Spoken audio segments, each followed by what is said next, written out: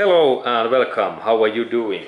Next I like to show you that how we can test our cars or trucks brake brake status and are these my my car's brakes okay or is there some issues or is there some too much like friction and or do we have those our brake pads and brake disc and and brake caliper stuck and that's we need to test this all of our four fields. And this testing happens so that first we need to lift up these fields little bit up on this ground. Something like one one feet or 30 to 50 centimeters.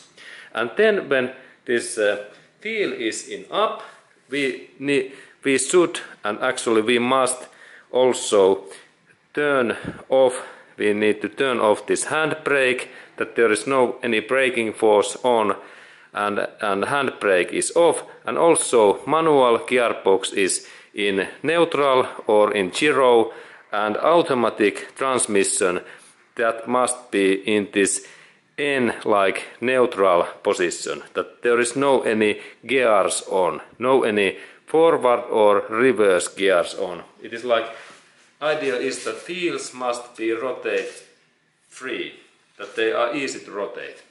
And this first test is this moving test. And this moving test test that that are my are my all brake brake pa brake parts and those components free and and so well friction that our wheels rotate easily. And this easily means that that when I use only one finger and then I rotate that in this way, I must have to, to rotate that wheel easily only with one finger in that way.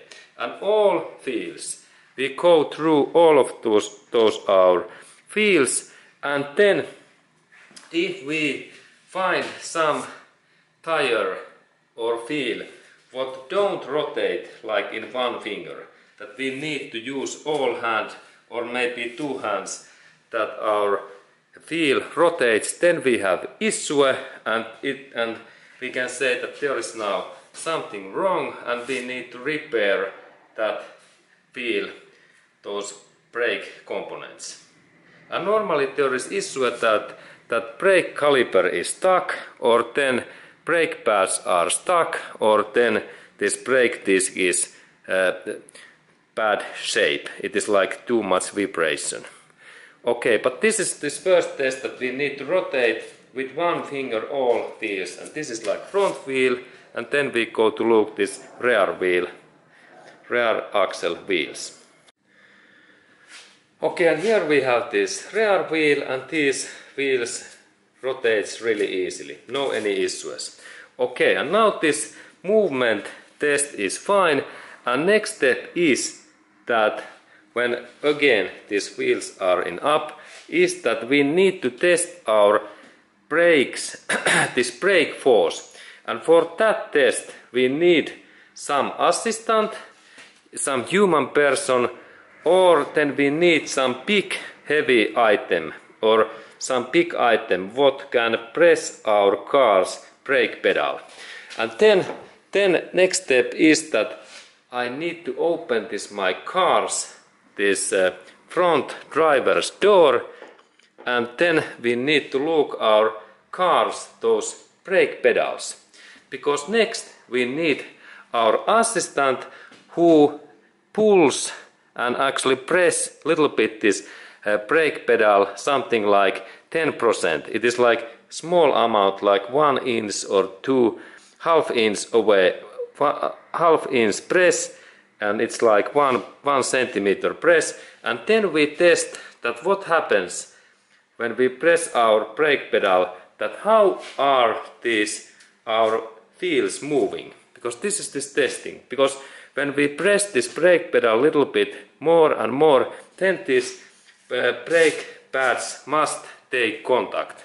And this is this braking force test and now when when I don't have now any assistant in here I have in here only this big dry wooden lock what is what, what is now like my braking force, I, it will brake this brake pedal. And next I start to insert this my big lock in here. In that way here it comes and then then it, it press little bit this my brake pedal. Okay and then it's important that when we insert this our braking force that that we first press that only one centimeter down like in that way.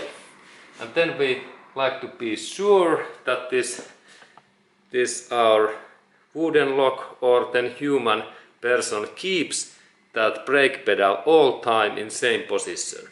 Okay, and now there is this one centimeter this force and then we start to look that how are these my wheels now moving because there is this one one in half inch and now when I rotate this back wheel there is no any movement and then when then we go to look in this these front wheels next but what is situation there? Okay and here is our front wheel and then when I rotate that now I can feel that there is some force in there because this is much more easier to rotate. And then I must to go in this another areas in this front axle and check that this is left left side front wheel and then we go to check this right side front wheel also. Okay, and this is this right side and I think that this is also a little bit more difficult to rotate and that means that this is good signal because now we can uh, think that our brake system is working well and then we go to add this brake force in the in this brake pedal area. Okay, and then I need to add this brake force and that happens so that I little bit move that my my wooden lock deeper and idea is to look that this brake pedal goes like one centimeter deeper. Okay, now it, it goes deeper and actually insert a little bit more and then we again we check that what is now this meaning in this our brake brakes and it seems that this uh, rear wheel rotates still and then we go to look front wheels. Okay and now I test this front wheel and now now there is situation that these wheels are difficult to move and that means that now there is quite much braking force and then when I think that this this don't move easily we go to check also this other side's front wheel that it must be just similar than that one okay and then I test that that how difficult is to rotate that and this is almost similar than this another front wheel tire and this is good signal.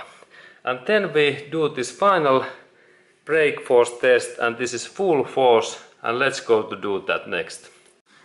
Okay, and then this full force means that I, I press that now this uh, brake pedal in full force and now this must be so that, that this, uh, this brake pedal is all time in this in almost in all force in there and that means that now we have full braking force and then we check that how those our wheels are moving next.